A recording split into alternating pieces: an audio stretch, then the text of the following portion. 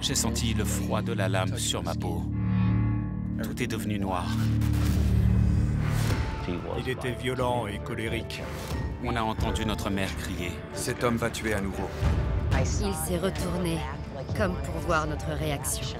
Il a détruit toute une famille. Je ne lui pardonnerai jamais.